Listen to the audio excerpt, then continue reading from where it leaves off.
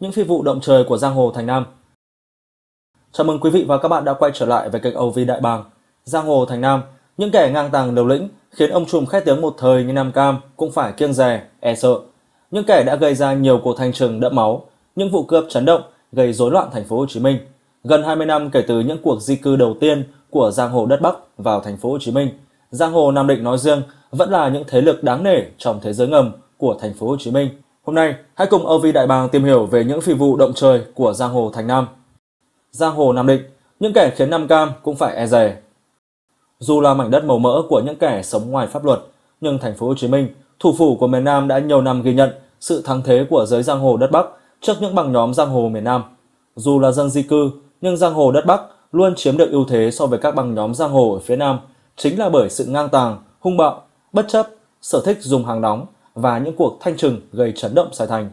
Kể từ những cuộc nam tiến đầu tiên của giới giang hồ miền Bắc đến nay, đã có rất nhiều băng nhóm giang hồ đất Bắc thâm nhập vào thế giới ngầm ở Sài Gòn và vẫn luôn chiếm ưu thế ở đất Sài Thành bất kể ra sao. Nhưng thế hệ giang hồ đầu tiên của miền Bắc di cư vào miền Nam nổi cộng lên là những nhóm giang hồ Nam Định, vẫn là những điểm nhấn không bao giờ quên được đối với giới giang hồ thành phố Hồ Chí Minh. Tháng 3 năm 2010, dư luận Sài Gòn có cơ hội chứng kiến một đại ca đất Sài Thành bị một nhóm giang hồ Nam Định thực hiện một cuộc thanh toán như trên phim.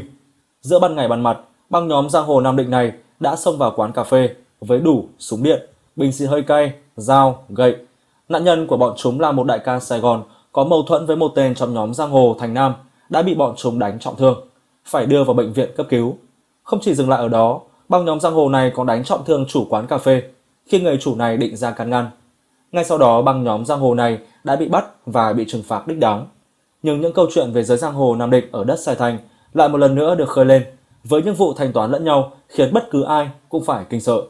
Thời ông trùm Nam Cam còn sống, khi ông trùm này vẫn còn đầy đủ uy lực với đàn em dưới trướng và kể cả những băng nhóm hoạt động, có một nhân vật mà Nam Cam vẫn luôn cảm thấy e dè, ngại ngần khi động tới, đó chính là giang hồ Thắng Chập.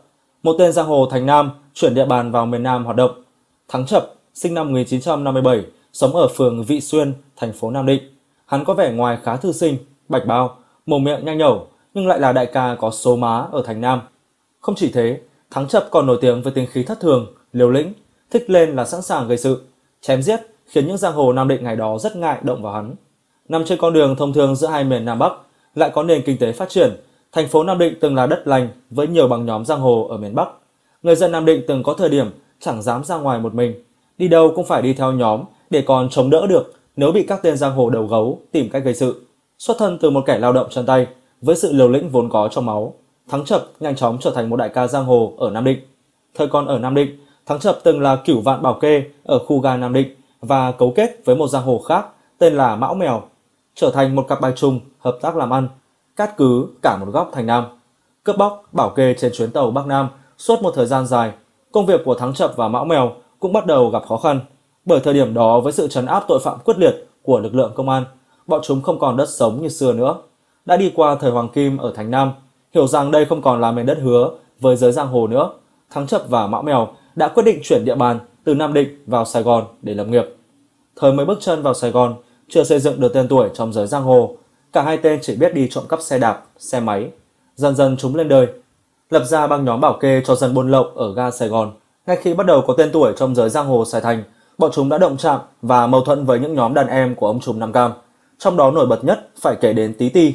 Tí Ti đã nhiều lần định dọa Thắng Chập, nhưng sau này được nghe nhiều về sự liều lĩnh của Thắng Chập, hắn đã quyết định dùng chiêu ném đá giấu tay bằng cách chỉ điểm cho lực lượng công an bắt Thắng về tội trộm cắp xe. Với bản tính liều lĩnh, dù không có mâu thuẫn gì, Thắng Chập vẫn thường xuyên gây sự khắp nơi để tranh thủ lấy số trong giới giang hồ đất Sài Thành.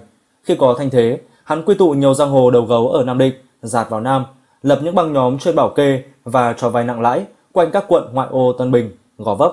Sự bành trướng thế lực của Thắng Chập ở Sài Gòn đã dẫn đến việc dần hình thành hẳn địa bàn riêng của giang hồ Nam Định ở miền Nam. Hắn nổi bật trong vai trò dẫn đầu, không thể không nhắc tới Thắng Chập. Nhờ các hoạt động làm ăn phi pháp, đâm thuê, trái mướn, bảo kê, Thắng Chập đã nhanh chóng trở thành một giang hồ giàu bự trong thế giới ngầm. Tài sản quán không biết bao nhiêu mà kể, nhà cửa giải khắp nơi. Có thời điểm hoạt động bảo kê của Thắng Chập còn vươn cả tới các sòng bài ở Đồng Nai. Thấy thế lực của Thắng Chập ngày càng mạnh, Nam Cam đã nhiều lần tìm cách quy nạp hắn về dưới trướng, nhưng Thắng Chập lại không thích chịu sự quản lý của Nam Cam, cũng không thích kiểu hoạt động của ông Trùm nên thẳng thừng từ chối không một chút run sợ, như những giang hồ khác ở Sài Gòn. Không chỉ từ chối thiện trí của ông Trùm, hắn còn thường xuyên gây sự với các đàn em của Nam Cam. Thậm chí có lần, hắn còn xông vào các nhà hàng, vũ trường do Nam Cam bảo kê để đập phá, gây sự. Thường với trường hợp đó, Nam Cam sẽ cho đàn em ra tay xử lý tên ngang ngược này, nhưng sự liều lĩnh, bất chấp của thắng chập lại khiến Nam Cam e dè, ngại ngùng khi có ý định đụng đến. Chính vì thế dưới thời ông trùm Nam Cam làm mưa làm gió, hắn vẫn sống một cách ngang nhiên mà không hề sợ thanh thế của trùm giang hồ uy thế nhất miền Nam này. Trận huyết chiến của hai bang giang hồ thành Nam Tuy nhiên không phải lúc nào thắng chập cũng được yên thân bởi sau những vụ gây sự đậm máu của mình, hắn đã liên tục phải trả giá. Vì chuyên môn đi đâm chém người khác, nên có lần thắng chập đã bị một đàn em ở Nam Định quay lại trả thù vì tội dám chém trọng thương đứa con trai của y. Hoạt động ở Sài Gòn, thắng chập vô tình đụng phải Ánh Thiệp, một giang hồ Nam Định khác cũng di cư vào miền Nam. Ánh Thiệp kém thắng 6 tuổi, trú ở phường Năng Tĩnh, thành phố Nam Định. Ở thành Nam, Ánh Thiệp cũng nổi tiếng với bản chất giang hồ của mình. Hắn thường xuyên bị bắt vì trộm cắp tài sản. Sau này trong xu hướng chạy vào miền Nam của các giang hồ đất Bắc, Ánh Thiệp cũng theo vô để tìm đường sống ở đây. Từ khi còn ở Nam Định, Thắng Chập và Ánh Thiệp đã từng nhiều lần mâu thuẫn với nhau. Mang theo mối thù hằn đó vào Sài Gòn, giữa hai tên này đã từng có những cuộc đụng độ nảy lửa. Khi vào Sài Gòn, Ánh Thiệp thường vừa trộm cắp, bài bạc, vừa bảo kê cho các bến xe tải trên tuyến Bắc Nam, trong đó có bến xe ở đường Phan Văn Trị, quận Gò Vấp. Dưới trường Ánh Thiệp luôn có hơn 20 đàn em và đầy đủ những sát thủ máu lạnh. Nổi bật nhất phải kể đến Tuấn Thiệp, em trai Ánh, Trung Thịnh, Sơn Lẫm. Công việc làm ăn của Ánh Thiệp ở Sài Gòn càng ngày càng phát đạt, khiến Thắng Chập vô cùng thèm muốn. Trong khi đó Ánh Thiệp cũng ao ước có được vị trí đàn anh trong giới giang hồ như Thắng Chập. Mâu thuẫn vốn có của chúng trước đây vì thế mà ngày càng tăng. Để rồi đi đến trận huyết chiến khiến Thắng Chập hút chết ở bến xe trên đường Phan Văn Trị.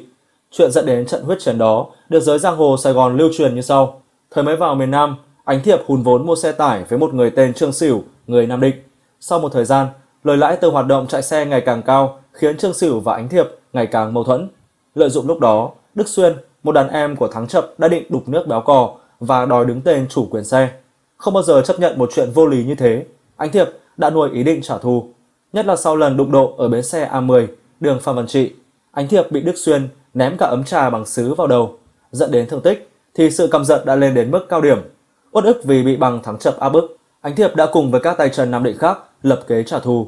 Sau đó ít lâu, anh Thiệp đã cho tập hợp đàn em rồi tổ chức một cuộc thanh trừng đậm máu tại bến xe A10 với ý định cho nhóm của Đức Xuyên và Thắng Chập một bài học để đời.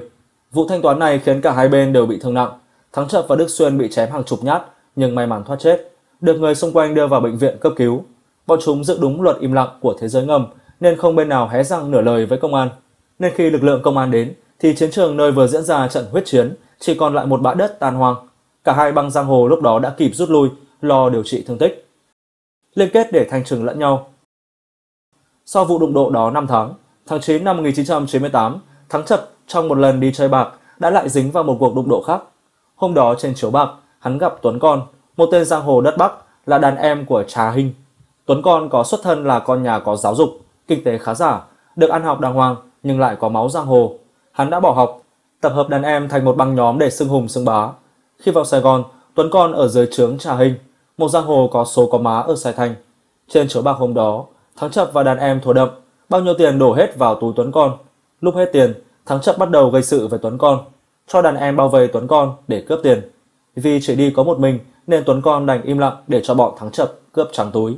Tuấn Con sau đó đã lập tức trở về báo với đàn anh Trà Hinh của mình để xin phép dẫn quân đi báo thù Thắng Chập. Dưới lệnh của Trà Hinh, một lũ đàn em do Tuấn Con dẫn đầu đã lùng sục tìm cách giết Thắng Chập. Nhưng tên cáo già Thắng Chập dường như đã đánh hơi được nguy hiểm nên đã tìm cách ẩn mình kỹ lưỡng. Không trả thù được Thắng Chập, Tuấn Con còn bị trả hình phạt vì có một chuyện nhỏ cũng không làm xong và bị đàn anh đuổi về miền Bắc. Mối thâm thù của Tuấn Con với Thắng Chập vì thế chưa dứt được. Năm 2000, khi quay trở lại Sài Gòn, biết bằng Ánh Thiệp có mâu thuẫn không độ trời chung với Thắng Chập, Tuấn Con đã bắt tay với Ánh Thiệp lên kế hoạch diệt trừ Thắng Chập. Bọn chúng đã tập hợp đàn em, chuẩn bị súng đạn để sẵn sàng thực hiện chiến dịch thanh trừng Thắng Chập. Sau nhiều ngày theo dõi, bọn chúng phát hiện Thắng Chập xuất hiện ở ga Hòa Hưng, không bỏ lỡ cơ hội. Ánh Thiệp lập tức hô hào Tuấn Con cho đàn em bám sát Thắng Chập. Đúng lúc Thắng Chập không đề phòng, bọn chúng đã áp sát Thắng Chập, chém nhiều nhát vào đầu hắn rồi bắn Thắng Chập hai phát chí mạng. Nhưng tên Thắng Chập cao số lại một lần nữa thoát chết.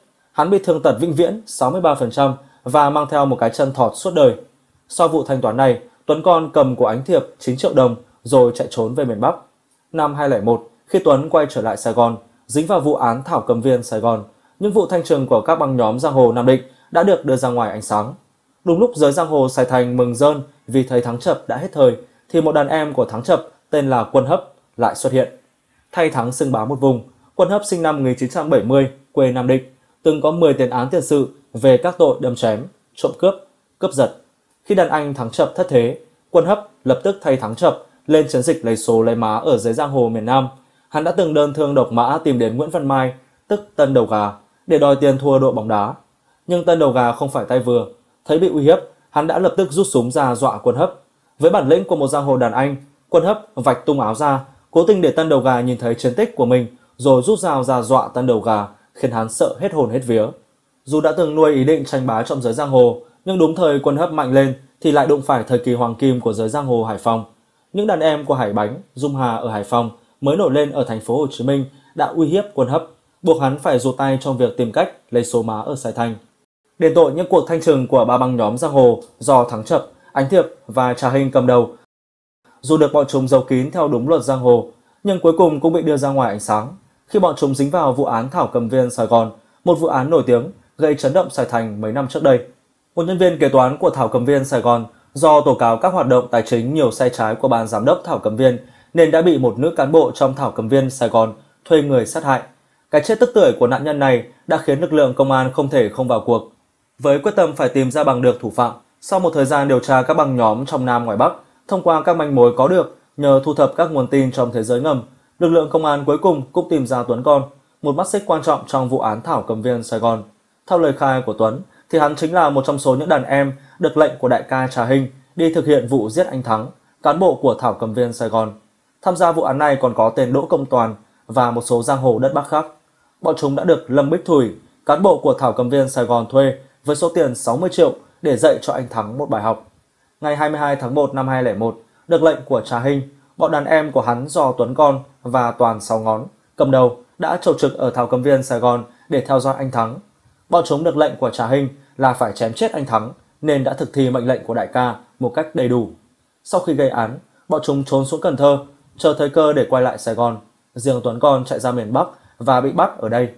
Thời gian đầu mới bị bắt, Tuấn Con vô cùng ngang bướng, kiên quyết không hề răng nửa lời. Là một tên có học hành đàng hoàng nên hắn rất khôn ngoan, lọc lõi, kín kẽ trong từng lời khai. Biết không thể nóng vội với Tuấn Con, các điều tra viên rất kiên nhẫn với hắn. Đến thời điểm này Tuấn Con ngày càng nôn nóng vì không được đồng đảng tiếp tế. Các điều tra viên mới tung ra đòn quyết định buộc Tuấn Con phải cúi đầu nhận tội.